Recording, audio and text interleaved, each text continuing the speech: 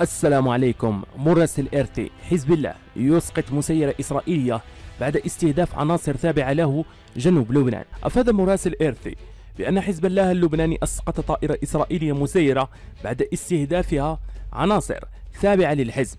كانت تقوم بعملية ميدانية في خارج بلدة يارين جنوب لبنان. وذكر مراسل إرتي أن مسيرة إسرائيلية استهدفت عناصر من حزب الله أثناء قيامهم بوضع برج مراقبة في خراج بلدة يارين الجنوبية ما أدى إلى سقوط ثلاث جرحى. هذا وأفاد موقع إخبارية هذا وأفادت مواقع إخبارية إسرائيلية بأن قوات الجيش الإسرائيلي تقدمت نحو منطقة السياج الفاصل عند الحدود اللبنانية عقب سمع دوي انفجار وأشار مراسل إيرتي إلى تحليق مكثف لطيران الاستطلاع لدى الاحتلال الإسرائيلي بأجواء جنوب لبنان عقب سمع دوي الانفجار الذي لم تعرف أسبابه بعد.